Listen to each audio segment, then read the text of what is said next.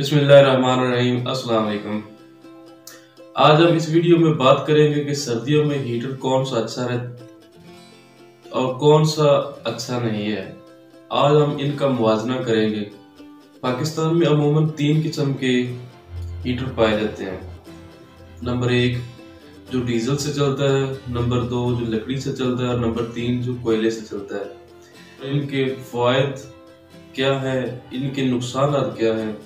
آج ہم اس ویڈیو میں یہی سب کچھ ڈسکس کریں گے۔ اس سے پہلے اگر آپ نے میرا چینل سبسکرائب نہیں کیا تو ضرور سبسکرائب کر لیں اور ساتھ میں بیل آئیکن کو بھی ضرور دبا دیں کیونکہ ہم آپ کے لیے ایسی انفارمیٹر ویڈیو لاتے رہتے ہیں۔ تو سب سے پہلے بات کر لیتے ہیں کہ ڈیزل والے ہیٹر کے فوائد کیا ہیں۔ ڈیزل ہیٹر کم وقت میں زیادہ ٹمپریچر پورا کرنے کی صلاحیت رکھتا ہے اور اس کے ٹمپریچر میں ویریشن بھی نہیں آتی۔ اور سب سے بڑا اس کا فائدہ یہ ہے کہ یہ اس کو چلانے کے لیے آپ کو ایک الگ سے بندہ نہیں رکھنا پڑتا نہ ہی الیکٹریشن رکھنا پڑتا ہے اور نہ ہی آپ کو الگ سے ایک ورکر ایکسٹرا رکھنا پڑتا ہے۔ اب اس کے نقصانات کی بات کر لیتے ہیں کہ اس کے نقصانات کیا ہیں۔ چونکہ اس میں ڈیزل استعمال ہوتا ہے اور ڈیزل کی قیمت پاکستان میں بہت زیادہ ہے۔ اس لیے اس کا سب سے بڑا نقصان یہ ہے کہ ڈیزل سے چلتا ہے اور اس کے اوپر ڈیزل کی کاسٹ بہت زیادہ آ جاتی ہے۔ یہ اس کا نقصان ہے۔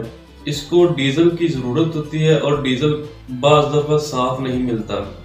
اس لیے اس کو بار بار صاف کرنا پڑتا ہے اور اس کی مینٹیننس کرنا تھوڑا سا مشکل ہوتا ہے۔ اب لکڑی اور کوئلے والے ہیٹر کی بات کر لیتے ہیں۔ بیسکلی یہ دونوں ایک ہی ہیں۔ لکڑی سے چلنے والا بروڈر بھی وہی ہے جو کوئلے سے چلتا ہے۔ اس کے فائد کی بات کر لیتے ہیں۔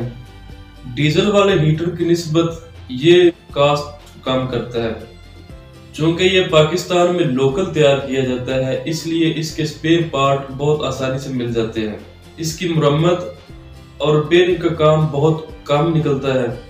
اب اس کے نقصانات کی بات کر لیتے ہیں۔ تو سب سے بڑا اس کا نقصان یہ ہے کہ اس میں تھرموسٹیٹ موجود نہیں ہوتی۔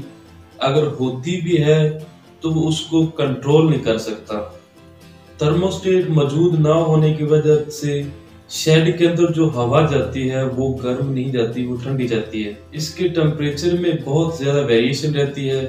چونکہ اس میں انسان نے لکڑی ڈالنی ہوتی ہے یا کوئلہ ڈالنا ہوتا ہے، اس لیے کبھی آگ کی سپیڈ زیادہ ہوتی ہے تو کبھی کم ہوتی ہے۔ وہ ٹمپریچر کا ویریشن بڑھتا رہتا ہے۔